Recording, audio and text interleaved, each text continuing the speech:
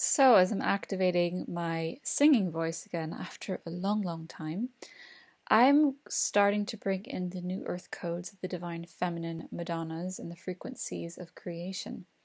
And that is literally the new earth, new Christ consciousness being encoded and embedded into the new fre- frequencies, singing music within to the waters, singing music within to the sound of the universe, creating more of that frequency out into the world, and calling in that space of creation, of abundance, of manifestation, of magic, of alchemy, of divine feminine and divine masculine.